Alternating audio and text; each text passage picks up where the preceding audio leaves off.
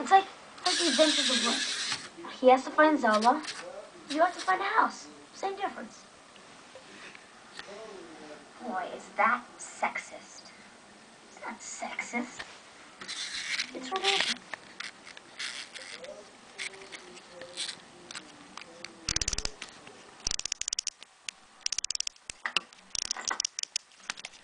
I know what you were gonna do, and you could just forget about it. There is no way I am not kissing a boy. A girl? Smartass.